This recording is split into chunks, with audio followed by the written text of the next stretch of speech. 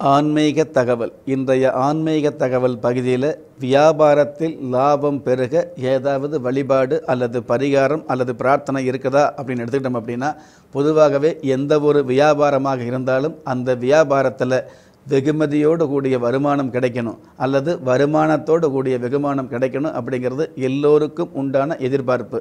அப்படி இருக்கக்கூடிய அந்த வியாபாரத்தில் வியாபாரம் எதுவாக இருந்தாலும் அந்த வியாபாரத்தில் ஓரளவாவது நமக்கு லாபம் கிடைக்கணும் இல்லையா? அதாவது வருகிற வருமானத்தில் வந்து கொஞ்சமாவது சேமிப்பு கிடைக்கக்கூடிய அதாவது லாபம் கிடைக்கக்கூடிய பாக்கியங்கள் இருக்கணும்.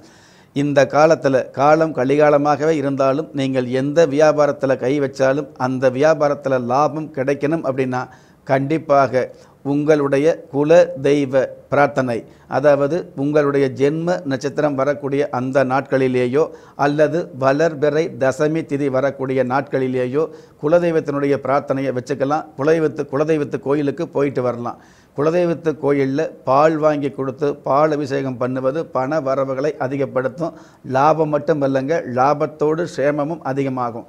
குலதெய்வ கோயிலுக்கு அடிக்கடி போக முடியாத பாக்கியவான்கள் இந்த மாதிரியான தசமி திதி அல்லது உங்களுடைய ஜென்ம நட்சத்திரம் வரக்கூடிய அந்த நாட்களில் குலதெய்வத்தை நினச்சி மஞ்சளில் பன்னீர் கலந்து ஒரு சிறு பிள்ளையார் பிடிச்சு வச்சு அந்த பிள்ளையாருக்கு முன்னாடி குலதெய்வத்தை நினச்சி பிரார்த்தனை வச்சுக்கிட்டீங்க அப்படின்னா கண்டிப்பாக ஏதாவது ஒரு வகையில் லாபம் அப்படிங்கிற அந்த மூன்று எழுத்தை நீங்கள் சந்திக்க முடியும்.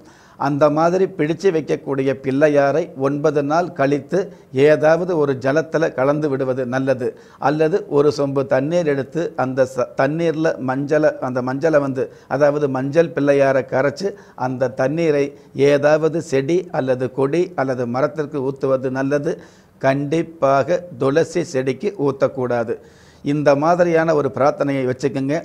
நிச்சயமாக நீங்கள் நிரந்தரமான ஒரு லாபத்தை அடைய முடியும். அந்த மாதிரியான லாபம் உங்களுக்கு கிடைக்கணுங்கிறதுக்காக நானும் உங்களுடைய குலதெய்வத்தை பிரார்த்தனை பண்ணுறேன் நெஞ்சுக்கிணைய நேயர்களே பேரை மாற்றி வாழ்கிறத விட பேர் சொல்கிற மாதிரி வாழணும் அப்படிங்கிற விஷயத்தை இன்றைய நேரத்தில் எடுத்து சொல்லி ஒரு மனிதனை யார் கைவிட்டாலும் ஆன்மீகம் கைவிடாது என்ற அற்புதமான தத்துவத்தையும் பதிவு செய்து மீண்டும் நாளைய தினப்பலன் நிகழ்ச்சியில் சந்திக்கும் வரை நன்றியுடனும் வாழ்த்துக்களுடனும் உலக மக்களுக்கான பிரார்த்தனையுடனும் உங்கள் ராஜயோகம் டாக்டர் கே.